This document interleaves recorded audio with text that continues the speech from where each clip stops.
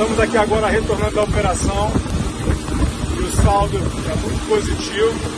Nós conseguimos prender um dos chefes da facção de assaltantes, traficantes, que atuam no garimpo do Patá, com a base de apoio em Ilha Bela.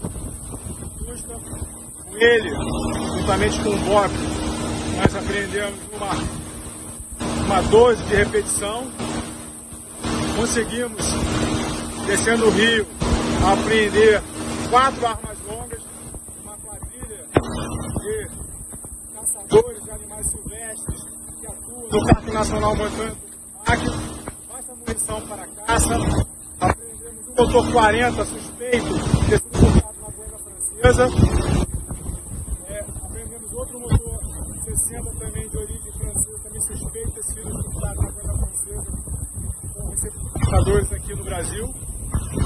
É, rádio, rádio de transmissão, duas motosserras, 2.500 litros de combustível tá? é, que estavam sendo dirigidos para a área de garimpagem, sendo conduzidos pelo Rio Apoc de forma temerária. E a gente reputa como muito positiva essa operação. Queremos aqui agradecer ao Coronel Matias, ao Major Kleber do BOP, conduzidos pelo Rio Apoc de forma temerária. E a gente reputa como muito positiva essa operação. Queremos aqui agradecer ao Coronel Matias, ao Major Kleber do BOP, tá?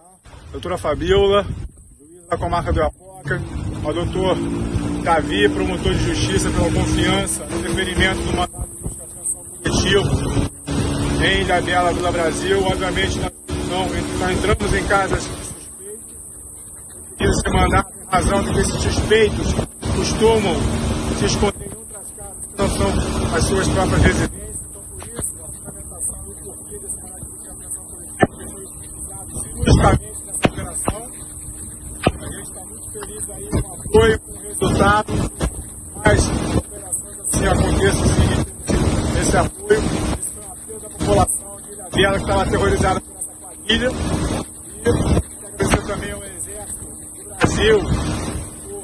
Por ter chegado em cima da hora lá e apoio para o Pernoite no papel. Então, feliz e a gente agradece aí.